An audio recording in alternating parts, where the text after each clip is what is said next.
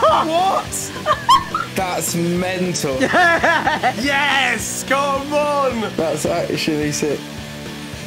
Starting us off, that I spilt a lemonade on Nico Rosberg at an FIA Awards dinner. Formula One champion Nico Rosberg, you've gone over to his table and you've just chucked a drink all over him. Basically, yeah, yeah. On his brand new shoes, they look great, and they had lemonade on them at the end. Did he have to go go like dry dry himself off? Because it was like towards the end of the night, everyone would just having a few drinks, and then everyone would leave anyway. So he was pretty chilled and happy at the time because he's obviously just won the championship. So I just got a little napkin. We had a little cleaner. You were drying his shoes with a napkin then. No, I gave him the napkin. I'm oh, not, Okay. I'm not gonna get Okay. on. That would have been I'm crazy. not gonna, I'm not gonna lie. clean his shoes, man. What brand of lemonade was it? It was a Sprite. I don't think he would know what lemonade is. I 'cause don't- it'd just yeah, be in I a don't think he would Do you know, what I mean? Like, Yeah, it's just going to be in a unbright. glass, It would just bro. be there on the table for you to Exactly. take. It's FIA Awards, man. It's Sprite. Is it like, though? I feel Is like it? they back out the Schweppes for that. I'm not gonna Yeah, lie. yeah, Schweppes, yeah. man. Get the real It's posh one not out. Schweppes. Mm, I don't know about that. that. I was actually I was on it until then. What were you wearing? What was I wearing? Black suit. What brand? Uh, I think it was from Zara, actually. I don't, know, I don't know how I'm feeling about Zara, mate. To be honest with you. Pep Guardiola over here.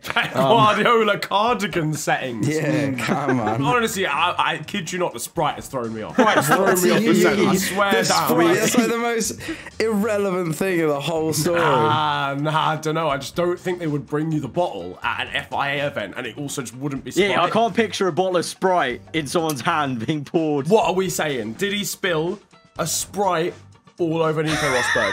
You seem really fixated on the Sprite. I so, am. I am. I'm just So, not. I don't um, know. and, then, to be honest, I, I'll back you on that. I just don't. It just doesn't sit right with me. and I feel like it's a story you you you would have heard already. If you're thinking about a lie, mate, I'll, I'll, I'll back you on that. I, I'm. I'm back in just the off lie, the just off the lemonade though. That's what we're Purely, really. literally, ridiculous. there is no other detail whatsoever. but it is literally just that. So uh, for, for me, I think we're gonna say, Max, it's a lie. All right, I can now confirm that it is a lie. Yes, come on. I did, Won get the a pic, I did get a pic with him, just didn't spill the lemonade on it. Ah, right. Okay, fair enough. Fair enough. So once I had to sleep in my car overnight because I got locked outside my parents' house. When did this happen? This was a couple of years ago. Um, want to say like 2017. Do you remember what like kind of month it was? I think December because it was uh, it was like winter time. It was very cold, so that that was also another thing. Of the car was very cold. I tried to keep it on with the heating, but obviously that wouldn't have been great. Where were your parents? Sorry. I was having a party, a house party at my parents' house, and they weren't there for the weekend. It was like towards the end of the night, and I got locked out. And because everyone was so drunk or like asleep, actually, because towards the end of the night, no one was there to like let me in. And I didn't have my keys on me. I left it. Obviously, it's a house party, so I left them just on a but how counter. did you get in your Yeah, how your keys you- not on? Why did with you your have your car car keys on you if you're at No, a no, my house house party? keys. My house keys. Why Was they not with your car At this keys? point, I didn't live with my parents, so I have my keys separated like that because I don't need my parents' house keys usually on me. I was outside because I wanted to go and get some more drinks. I was going to walk to a shop that's right down my road. Why would you go to the shop with your car keys instead of the house keys when you weren't going to drive? Well, obviously, it was the end of the night, so I was quite drunk. And I wanted to get more drinks, which is probably a mistake. I just think someone would notice if you wasn't in the house, considering it's you're having the house the party. host. No, it was like a, we're talking like a twenty-person house party. Like there was enough people where it's like one of those ones where you might not even see someone the whole night. If I was at my mate's house, before I'd sleep, I'd try to figure out where he was. Would you though? I don't. It's not among us. You- You're not trying to find where someone is in the house. Like you just. I, I've knocked out before earlier than people. What's was everyone's phone dead as well? Well, no, it was the fact that everyone just was either going to bed or just already asleep. This is a big fat lie because I know Arav is the most organised person in the world. Neri can vouch. He never goes anywhere without his keys, and he Yeah. would not leave But his was- phone to go to No, the no, shop. no. I was. No, you haven't seen me when I'm very drunk. I become the stupidest person in the room, and I forget loads of things. I don't know, 18 people inside and phones nowadays, and I don't know. That's literally There's a window to, to, get bang on, surely. Like No, no, because because I was like, I didn't want to wake anyone up by making a ruckus. I would So- if I got locked out of my own house in December. I'd head like dive through the window to make sure I'm not sleeping in my car. Absolute big fat freaking lie. I can confirm that it was a lie. Ah, you're too organized. You're too organized. I did have to sleep in my car once with a mate, but that was out, not out of big locked out, just because there were simply not enough beds going around. So we just No slept in the way. car. Did an ab- absent shot and got lost by myself for three hours, and I have no idea where I was or what I was doing. This completely sounds like you, truth. I'm gonna be totally honest. Like, yeah, thi- this this has Ria written all over it. So hang on a second. So what happened at the end? Did you make it back to your hotel? Like, did you did your friends find you? Like, So- what was the ending? So basically, it was actually on a bar crawl, and um, obviously I was already quite drunk. And what happened is a stranger gave me a shot, and I've never done absinthe before. And obviously I did this. Don't know where I ended up, but I did end up back at the hotel. But it was like three-ish, four hours, four hours sorry, later. This is checking out. I feel like this is already just like. I feel like I know this probably happened. What had you been drinking on the night, and did it involve Sprite? Um, not gonna lie, I didn't see the the bottles that was getting used. when did you say you found your your friend? Found, or what did you get? You get you got back? I just somewhere? ended up going back to the hotel. I must have like, you know, when you're drunk, you somehow still know like where to go back to hotel wise. What was your friend's concern when you got back? Like like, what was To the? be fair, like I was quite annoyed because she didn't seem that bothered. Okay, first of all, are you still friends with this person? yeah, but they're not like I don't see them much anymore as when I was younger. There's some holes in this because I don't. I low key don't There are some holes, but also there how would be made it holes if you blacked out. You can sober up. I've we've Yeah, we've true. we've both seen plenty of people rally after three hours. Rally the truth. That's why I'm just convinced it's just true because it's just also a very rare story. It does sound like a very rare story, actually. Yeah, I, I think it's true. I think it's Yeah, true. we'll go for truth. So it is false. What? I knew if I never had any story about me getting drunk, you'd just believe it. oh my god, I'm fuming. It wasn't even the fact that it was about you being drunk. It's the fact that you just like were like, yeah, I blacked out. Yeah, blacked lost. I out, like, this is- You're gonna think it's true. You're gonna think it's true. My statement is that I am technically Nigerian royalty. I'm gonna go on ancestry.com now. Yeah, yeah, yeah, just Google it. Nah, so like you can be royalty in like the area that you're from, rather than like being royalty in like the entire country, I guess. My great grandfather was the king of his area. Now, obviously, my dad moved to England, and I grew up in England, so I'm not gonna take that on. But technically, I yeah, When did you find this out? Last week. Yeah, last week actually. Uh, today for this show, no, um, no, I, I found it out eight years ago, maybe ten years ago. What? So you could go back and be royalty? Yeah, yeah, yeah. Technically. I just feel like I feel like this would have came up in conversation. Yeah. Like if you all lived together, surely you would have heard of this before. Yeah, I've never heard of this. You You, would would said definitely be this telling a girl when you're on a man. night out trying to be like, yo, babe, so basically, yeah. Basically, yeah, Nigerian royalty. Come on. Bring the crown out. No, I hear You're that. actually chatting to a king right now. Like, surely you would have heard about that before. Who's the kind of king at the moment then, now your your family have left? No, I'm not No out one. Um, I, I honestly, I actually don't know that the answer to that question. Like, I'm not. Gonna You lie. don't, so no, I haven't been it to just Nigeria since I was a disappeared. child. Do you have any other family that are still there? In that area, not particularly. Uh, my uncle used to live there for a bit, but again, he moved here. What what area was it exactly? Uh, it was like in the, the What's sort the of like name of the town? Area. I actually, it's gonna sound really bad. I actually don't know the name of the town. I can't remember it off the top of my head. I don't think it's true. And if it is, though, I'm impressed. Surely this was story would have slipped out at some point. It's a lie, based Me off too. few stutters here and there, you know. Well, I can reveal that it is in fact true.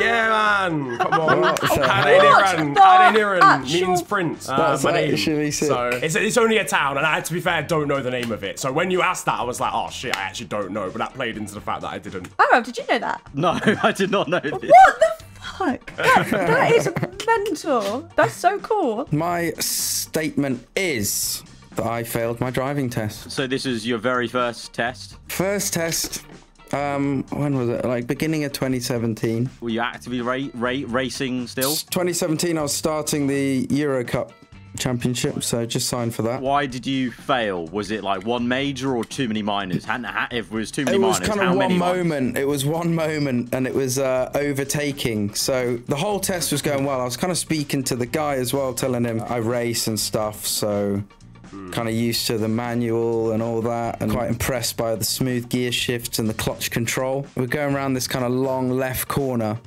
and there was a cyclist. I thought, you know what? I see a gap. We're going to go for it. Uh, did the overtake. The cyclist kind of swerved a bit, so I had to avoid him, and then uh, pulled back in. I didn't really think much of it because I felt I was quite far away, but apparently my margins are a lot smaller than his to what he feels is safe. Yeah, he failed me on a very dangerous overtake, apparently. If you no longer go for a gap, you're no longer a racing Because driver. that's though, what so- that was the mindset. Yeah, that, that was what was going through your mind at the time. I do Dropped hear the it. clutch and went for it, and we we nailed the overtake. We got it done. Arav, I'm not a man who can drive.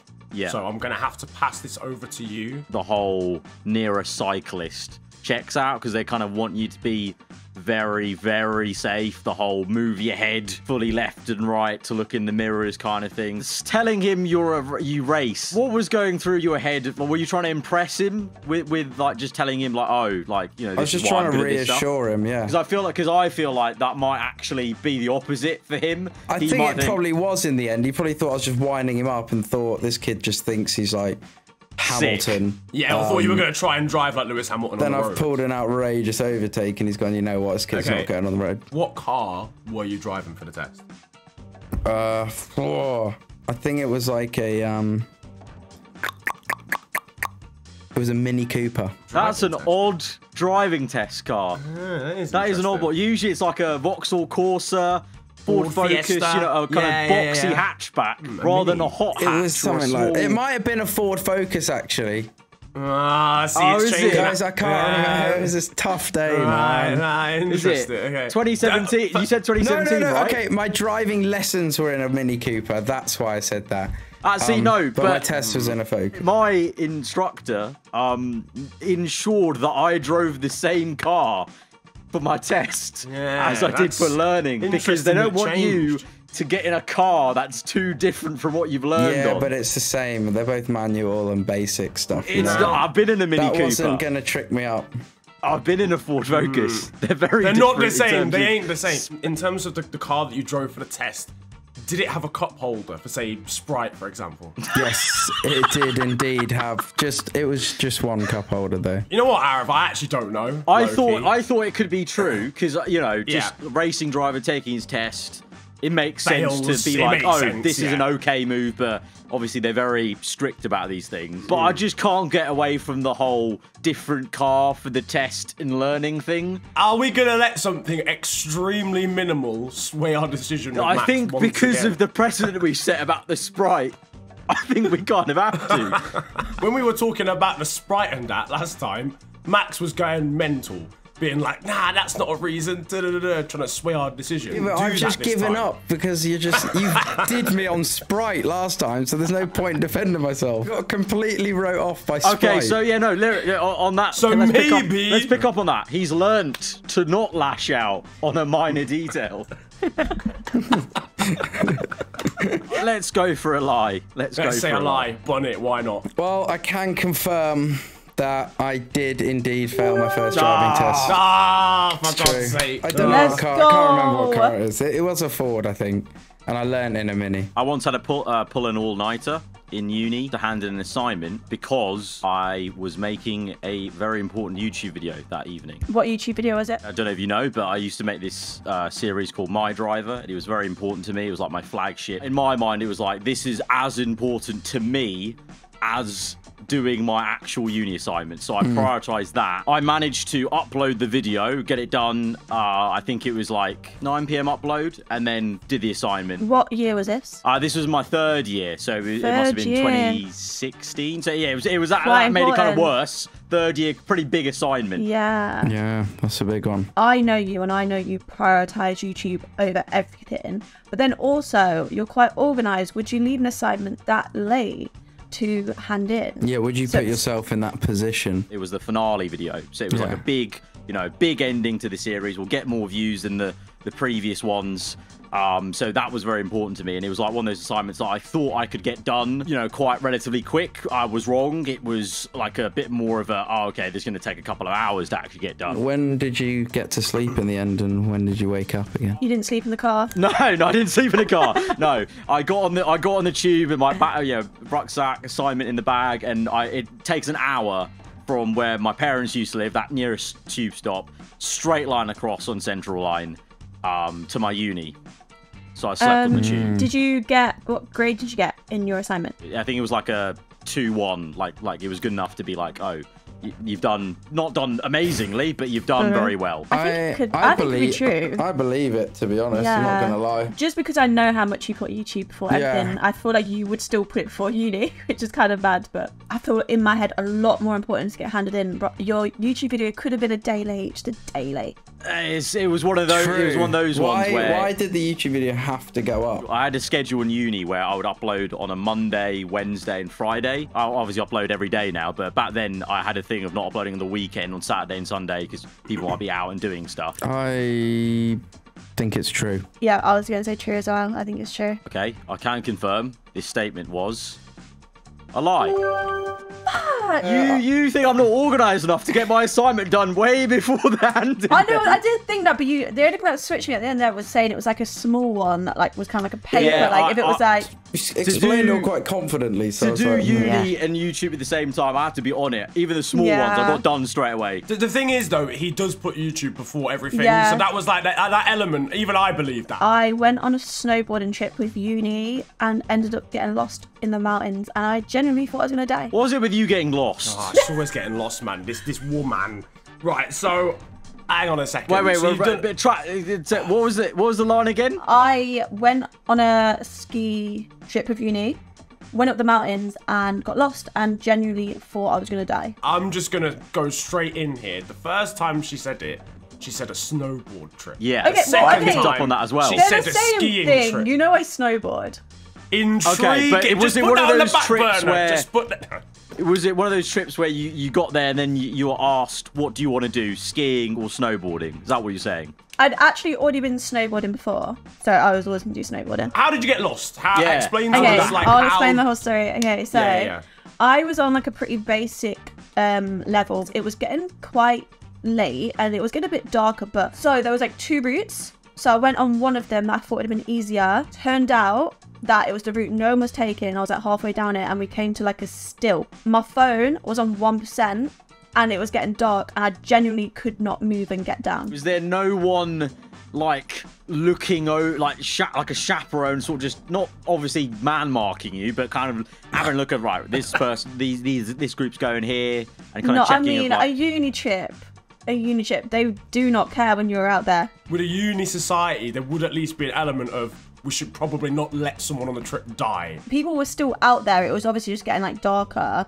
Like maybe if I hadn't turned up at like 10 p.m., my roommates would have been like, "Where the fuck is she?" how did you get back then? If your phone was going to die, I And- genuinely, hand on my heart, never mind. I fell out his floor, but I thought this is the end. Like I'm gonna die. So I had to walk on the straight with my snowboard, which is very hard for like 20 minutes. And then there was like a bit of a slope, and there was like a little house, like just randomly, and I literally had to go knock on their door, and they had to take me back. How did they take you back? Um, on the little like the little bikes that they have, like the little quad bikes. I am. I'm not gonna lie, this one, Aaron. Aaron. Yeah, the, the thing is, she's delivering it with passion, talking about how like she was like, oh yeah, this could be the end, whatever. However, why was there just a quad bike in a random house in the snow? These are the questions I'm asking. Yeah, and also I just the, Unless she means one of the, snow bikes, convenience you know, of- snow bikes they have. There's the convenience of obviously clear. Yes, of course your phone was on one percent at the same Hmm. time, and also we got hoodwinked the last time when she said she got lost. Ah, yeah, but the last one. I think she knows it's an easy thing to get us hooked in to be true. I know, but the last one was a lie. What if this is a truth? Um. okay, I'm gonna go. For me, I think it might be a lie, but I don't know about you. I, I'm I'm I'm good with backing a lie here. All we'll right, go for we're it. Gonna, we'll go for a We're lie. gonna go for a lie. We're gonna go for a Go lie. for a lie. Um, so first off, Niran, that is Snow Sports Society. That I was Oh, I'm in, fuming. and this I is really- true. Oh. oh, I genuinely, hand on my heart, thought I was gonna die, and my phone was on one percent. I knew the way she was saying it was like legit. I could But tell. I can was promise just I've got a lot better now. I've got a lot better at snowboarding. I don't go by myself. When I was in year eight in PE, I won my year's annual pencil rolling competition. Pencil rolling. Is that even a thing? Basically, you lie down like a pencil, yeah. So you lie on the floor, you put your arms in the air, yeah. You put your arms like that, and you just and you just roll. For like. For some side. reason, Oh, I, I, thought you actually believe thought of a pencil. I genuinely thought I was picturing a pencil being pushed. No, I am rolling. I am the one. You that's, are that's You're the pencil. pencil. Yeah, yeah, I am the pencil. Was it like a downhill track or kind of flat surface? Oh, this yeah, downhill track would have been crazy, but no, it was just a flat surface. Where, It's just where in our did you do gymnasium, like our gym hall. Didn't- Max, can I ask you a question? Hmm. Have you ever in your life done this in PE? Up until the point I was in school, I never done a pencil rolling No, race. so you know what it is. Um, I, I do understand. Like, yeah, maybe some schools don't do it, but like this weird tradition that like they just had at the school. Yeah, Right. it was just like a tradition they had at the school. That is a Like weird a bit of a jokey thing. thing. or whatever, and then every year everyone would just get down, do a pencil roll. Boom! I won it one year. Well, Did you win anything? Yeah, they gave me a pencil, uh, which I thought was quite funny. This ain't true, man. That can't be true. If this is a lie, yeah, this is the weirdest lie I've I ever know. like in I the feel world. like it's thrown me so much. Alright, I'm going with a lie because I just think that's weird. Oh, I just feel like this is so weird that it could be true. I know. Well, how do you even think of this off the top of your head? This is a wind up, man. Are you serious? What? The only thing that makes me think it's true is because he's brought it up. Like, there's no way I would think of this off the top of my head. I really want to say true, but I'm gonna go with Ria because Oh no, don't put that on me. no, no, no, because you, you know, Niran. Okay, we'll go with a lie. I can confirm, ladies and gentlemen, this was a lie. Yeah, I just thought of this off the top of my head. Not gonna lie. You're a weirdo. Oh, did you think of Yeah, that? I was just thought I was just trying to think of the mental how you like thought of the that off the top of your head. yeah, the weirdest possible thing that would make like literally Max, you were going down the lines I wanted you Yeah. to do of like this is so weird that it might be true. Yeah, that's the only reason. I was like, there's no way I could think of this off the top of my head. Well, ladies and gentlemen, thank you very much for watching. Uh, if you did enjoy this one, feel free to slap a like on it. And of course, subscribe if you are new. Let us know down in the comment section who you would like us to play Would I Lie to You with next time around. Until then, we'll see you next time. Adios.